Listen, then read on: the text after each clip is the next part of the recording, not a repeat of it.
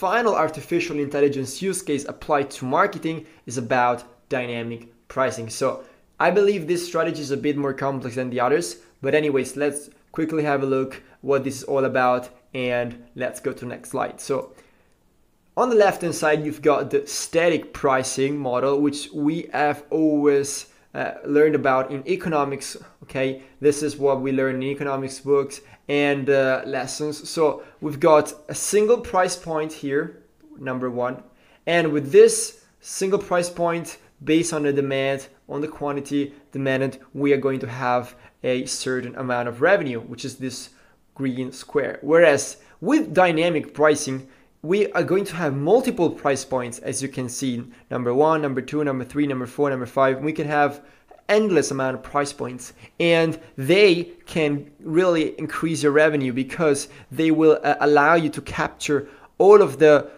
profit to be made in that market. So they will be able to really show the prices towards the customers that are probably going to be willing to pay those prices. So of course in order to do that, we gotta we're gonna have uh, we're gonna need an, a really smart algorithm, a really smart software machine that is going to predict who is willing to pay what. You know, because you cannot expect to to have a student to to pay for the highest price tier because usually a student doesn't have uh, any disposable income or very little disposable income because he's usually studying, he's usually, he's usually paying uh, university tuition fees.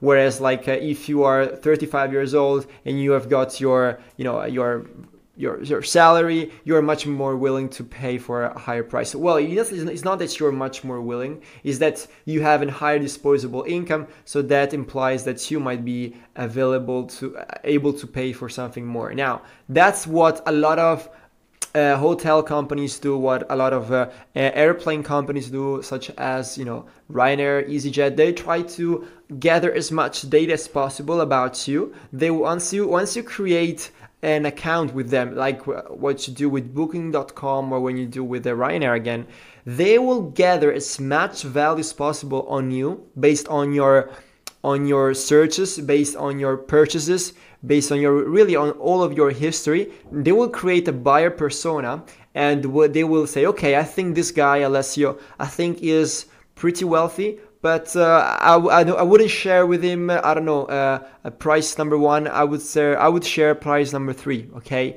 But or or instead I would say oh I think this Alessio guy uh, I think is is, is still it's at school. It might be not be uh, probably it's, it's not gonna be able to afford uh, a very uh, luxury luxury vacation. Instead of showing him the villa or the five star hotel why not we show why why, why don't showing him like a three star hotel and so and so on or like just like a dorm room or or or in a hostel you know? Again that, that's not specifically what it is but again that was just an example. They will try to or maybe for the exact same price for, for the exact same service. So let's say there's 10 spots left uh, on, on, a plane and you land on the website and uh, perhaps instead of showing you the price number one, they will show you a price number three. Whereas if uh, another user who, who's perhaps an entrepreneur and they can understand that basically they will not they will not know base, base they will you because once you log in on um, on your account you will not say okay i am an entrepreneur. I earn i don't know $50000 per year. I have uh, a house. I've got a boat. I've got you know, you don't say all of these things, of course, you never ever say those things, but the algorithm is smart enough to understand that. Okay, so based on your searches, if you're looking for homes that are more than $300 per night as price in terms of for your vacation, or if you're looking for um, flights that are you know like intercontinental so that you're flying often and you are usually paying a lot of a lot of money for each and every ticket. If you're always looking for upsells you know for more services so at the end of the day you spend more. What the algorithm is going to infer is that uh, um, is, is that you're wealthy, is that you've got a lot of disposable income and that you are uh, able to afford a higher price tier. So perhaps in the next time you will go and search with the exact same account that you have been searching before, they will know that they can afford to try and show you a, a higher price than the average, okay, or a lower price than the average, or just at the average. So that is what dynamic pricing is, and in my opinion, it's really powerful. Uh, pretty difficult to do that, but here's the thing: we got platforms. Platforms are popping up for dynamic pricing, and I think they will pop up even more in the future because, again, it is such a valuable thing to do. If you have got a a data science team with you, or if you're a data science uh, engineer yourself, that is definitely going to uh, make it work. Because as you can see, get inside your customers' minds, and as you can see, you can look at uh, uh again.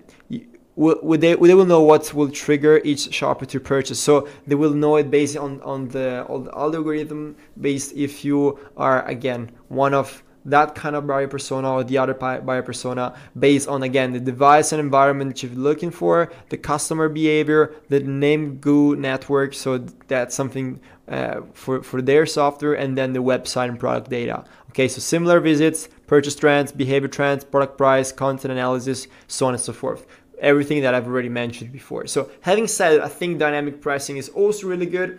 And I hope you guys have enjoyed these lectures. We're gonna go through the benefits and of, of using AI marketing, the challenging the challenges of using AI marketing, and also the future trends projections for AI marketing. Now, I hope that is helpful to you guys. I hope you are uh, having as much value as possible. And please if you could leave me a feedback i would be so grateful for you so i can create a better course for the upcoming students. And really feel free to leave me a review you know both good or bad just i would be so grateful to hear that. So having said that guys i'll see you in the next lectures